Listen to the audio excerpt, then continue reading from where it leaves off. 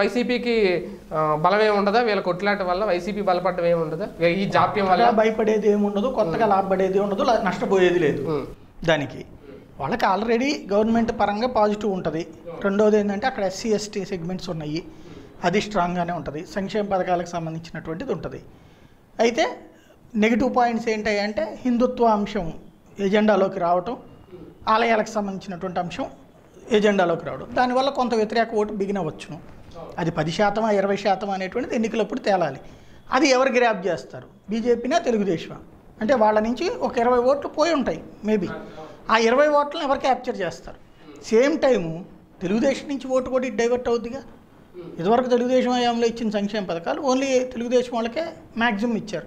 లేదా తెలుగుదేశం సింపతైజర్లకే ఇచ్చారు. జన్మభూమి కమిటీలో డిసైడ్ చేయడం వల్ల.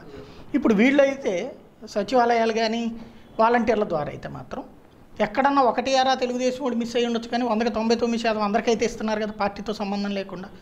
అప్పుడు తెలుగుదేశం వాడు లబ్ధి పొందినప్పుడు ఓటు వేస్తాడా లేదా ఇటు పక్క కనీసం? నాలుగు పథకాల ప్రయోజనం పొందినప్పుడు ఒక ఓటు అన్న వేయాలనుకుండొచ్చు కదా. ఇప్పుడు అది కూడా ఉండొచ్చు కదా మేబీ దాంట్లో.